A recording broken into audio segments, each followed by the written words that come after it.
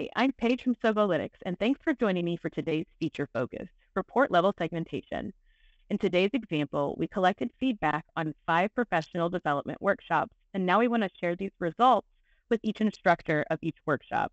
We don't want the instructors to be able to see all of the results across all workshops. We only want them to see uh, the results relevant to their specific hosted workshop.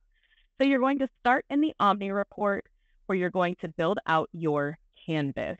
To add elements to your canvas, you can scroll through your Omni report and hover to click this orange button to add things to Canvas.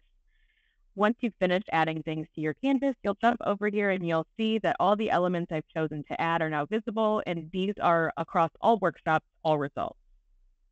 So now I want to get into the segmentation piece. You'll click on the report level segmentation button, you'll name your segment group, and then you're going to select the question that you're wanting to segment on. So in my case, I'm segmenting on my workshop.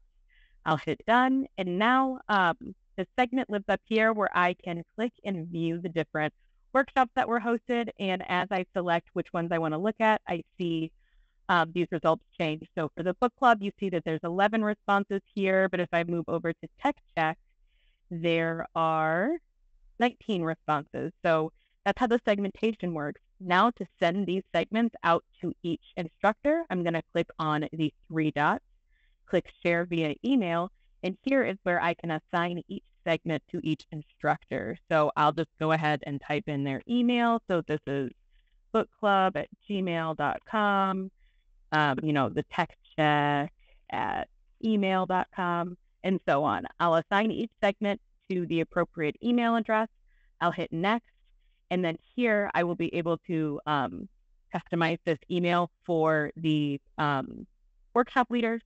So you can change the text in here, hit next again, and then hit send, and it's going to fire off those emailed reports. Um, then each person's going to receive their own report when they click into it.